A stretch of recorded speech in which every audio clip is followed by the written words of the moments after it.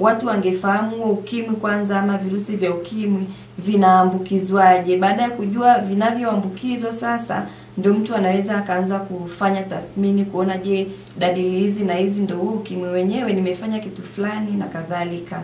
Ukimwi unaenezwa kwa kujamiana na mtu ambaye ana maambukizi ya virusi vya ukimwi bila kinga na endapo mtu atajamiana na mtu ambaye ana maambukizi ya virusi vya ukimwi bila kutumia kinga, anakuwa ni rahisi sana kuambukizwa virusi endapo atafanya ngono ambayo hususani haina maandalizi ya kutosha.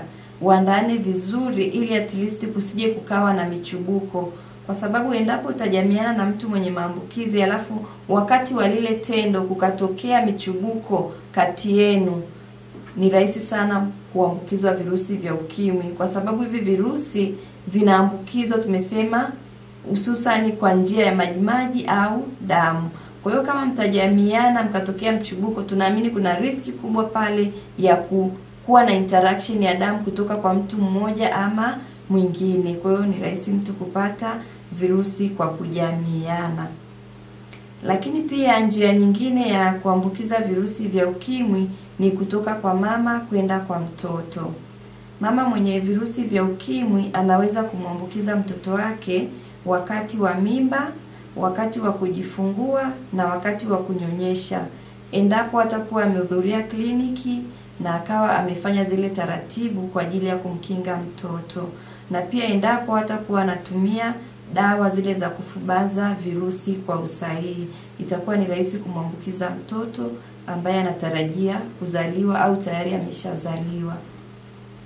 Lakini pia njia nyingine ambayo inaweza ikamsababisha mtu akapata maambukizi ya virusi vya ukimwi ni kuwekewa damu ambayo ina maambukizi ya hivi virusi.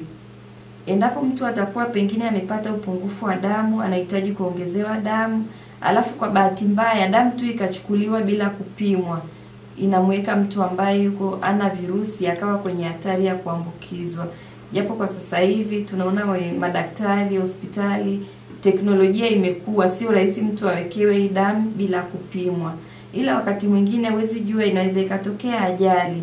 Kwenye ajali we ukaumia, pengine na mwingine wa pembeni yako akaumia, na mmoja wenu kati ya nyie akawa ana maambukizi ya virusi vya ukimwi.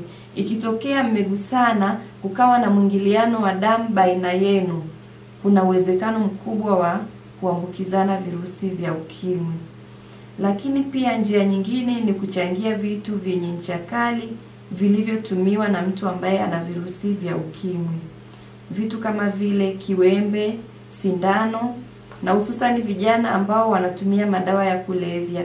Tunaamini kwamba wengi wana tabia ya kushia zile sindano wanavyojidunga madawa bila kujua hali zao za kiafya zikoje.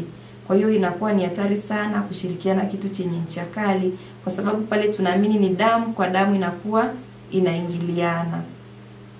Hizi ndio njia ambazo yani ziko common na ndio njia kuu za maambukizi ya virusi vya ukimwi.